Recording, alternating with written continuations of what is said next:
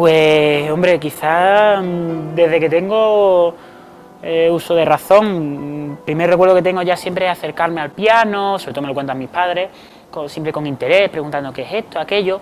Mis padres son músicos, mi madre ha sido mi maestra, ¿no? Le debo el 80% de lo que soy. Y, mm, bueno, empezar a empezar a, tocar el teclado, eh, pues a los 7, 8 años, por ahí, a los 8 años entré en el conservatorio, que es la edad reglamentaria. En fin, todo en mí fue un poco normal, ¿no? El por qué creo que es evidente, porque desde que nací estaba rodeado de música. Y, y bueno, y me gustó y empecé. Quiero decir que eso no es una ecuación perfecta. Mi hermana, por ejemplo, no se dedica a la música, a música en general, es farmacéutica. Pero bueno, a mí me dio por ahí y, empecé con el piano y aquí sigo. Hombre, es una pregunta un poco difícil.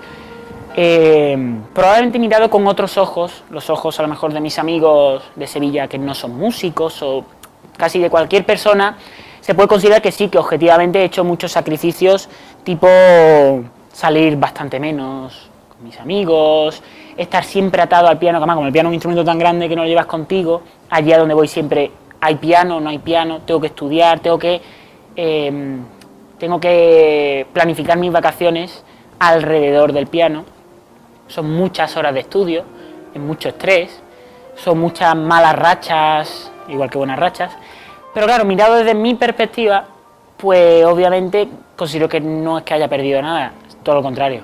Yo considero que he ganado mucho, porque a mí por lo menos el piano es casi una terapia de vida para mí. A mí me ayuda mucho a, saber vivir conmigo mismo, a conocerme mucho mejor y, al fin y al cabo a, no sé, a ver el mundo con mejores ojos, con más optimismo, cosa que hoy en día es muy difícil.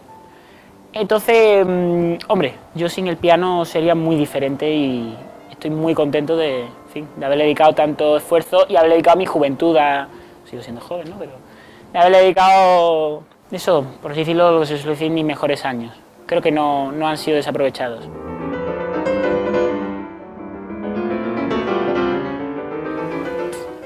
Pues no sé, yo mi, meta en la vida es, ser feliz, tampoco en principio, claro, con el piano, que es lo que me apasiona, con la música en general, pero si por cualquier azar de la vida yo acabo, qué sé, siendo matemático, si soy feliz, es lo único que me, que me interesa.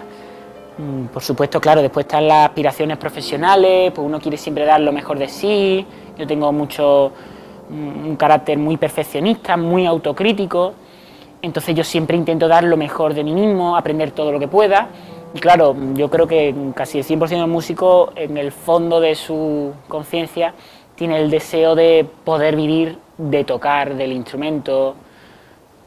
Y bueno, nunca se sabe. Si llego a eso bien, la, pedagogía, por otro lado, también me fascina, ¿no? Música de cámara, mundo del lead, en fin, tengo bastantes afinidades, con lo cual mi meta, ya te digo, mucho más general que definida. Por supuesto lo intento, pero se llegará donde se llegue.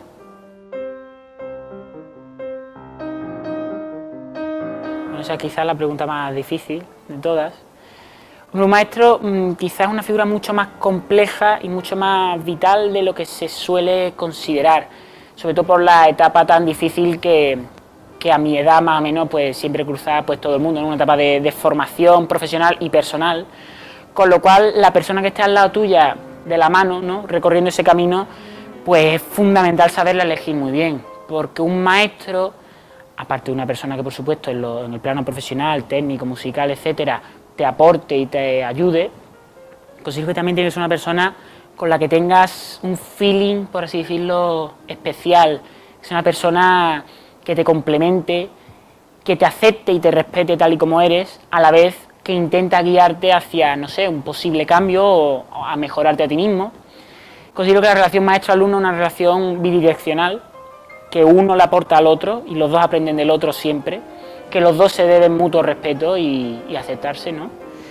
Y mm, considero al fin y al cabo que una relación bastante bonita, porque se, se llega a crear un vínculo muy especial, de, no solo de gratitud, sino de no sé, una mezcla de admiración y de, y de cariño, ¿no? Entonces, ya te digo, la, La figura del maestro es bastante delicada y por eso es tan difícil encontrar a tu maestro o a tus maestros, que suelen ser en plural, ¿no?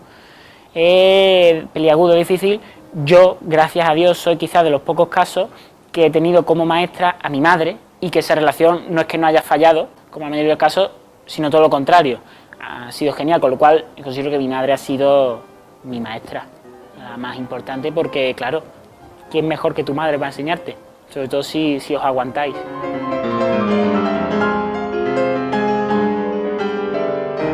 Hombre, eso va, como casi todo el mundo dice, va por etapas, va por rachas.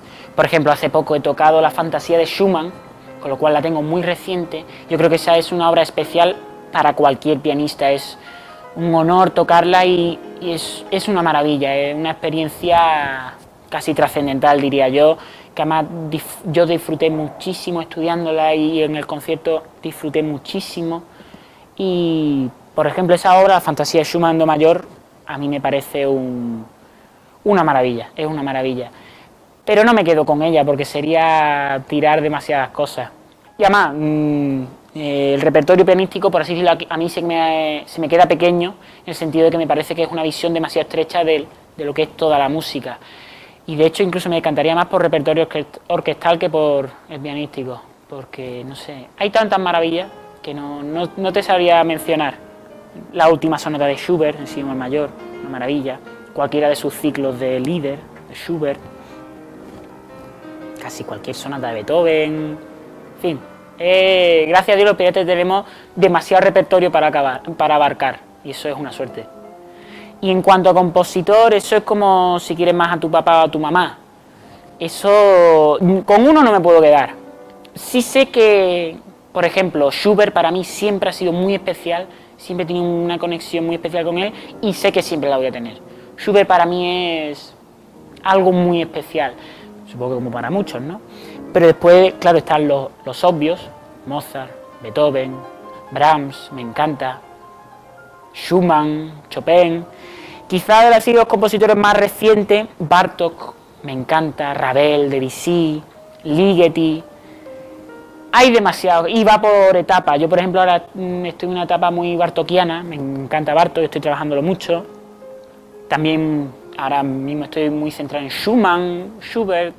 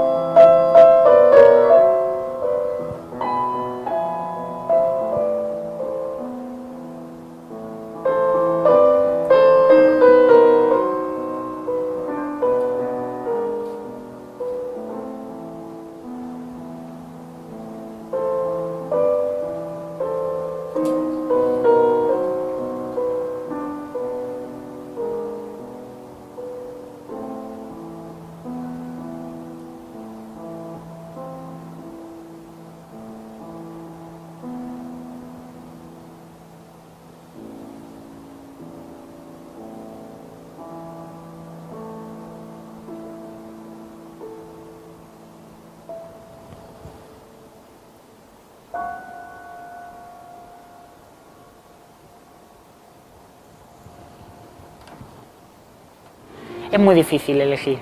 Siento no darte una respuesta más, más específica.